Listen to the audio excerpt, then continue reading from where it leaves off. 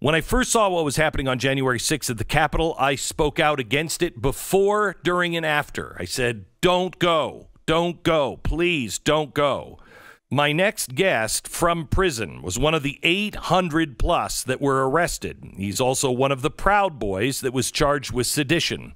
According to him, he walked through the door on the west side of the building of the Capitol as police stood by. He was not carrying a weapon, and he did not assault police officers.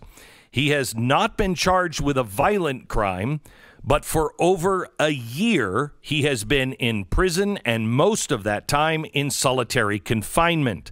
The man's name is Ethan Nordean, and it is way past time to find out if he and others in this situation are guilty or just political prisoners.